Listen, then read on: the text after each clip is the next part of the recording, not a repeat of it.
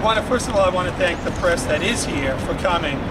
You know, what usually happens when you have a controversial subject like this and the administration doesn't want the issue to get any attention, what they do is they'll schedule a press conference at the same time. Well, I understand there's a press conference going on in the Red Room at the same time to try and pull away the press from us and from the workers of Stella D'Oro. Shame. Yeah, let's Shame.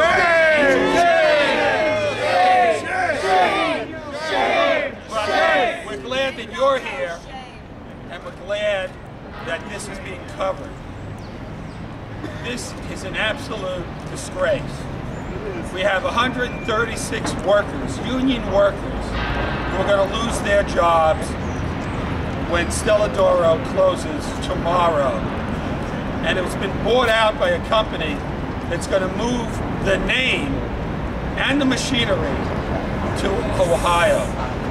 To make matters worse, if it can be worse than that, the city and the state gave Stella D'Oro money to keep them here by per helping purchase new machinery. That's taxpayer dollars of oh, New Yorkers that is now going to be moved to Ohio. That is an absolute disgrace. And shame on the city of New York for allowing this to happen. We're here today to say these union jobs have to be protected. Stella D'Oro should remain in the city and in the Bronx.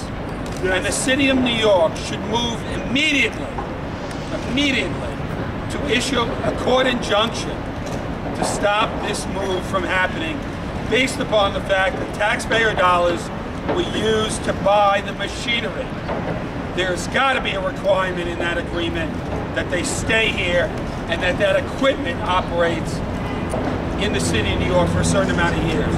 Now, today, nobody's been able to get a copy of this agreement when the city, in fact, and the state gave them money. That's also unacceptable.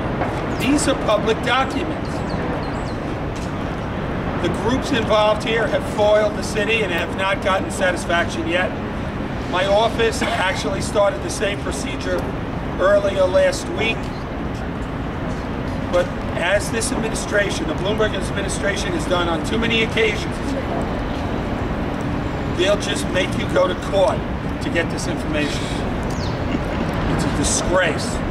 And I stand here with Assemblyman Rivera, with all the union executives and members that are here, to say we should do everything in our power to stop this happening from tomorrow and to keep this machinery, which is the leverage we really have in the city of New York, and make the new the new owners of Stella D'Oro stay in the Bronx in the city of New York and protect the union jobs and get these people back to work.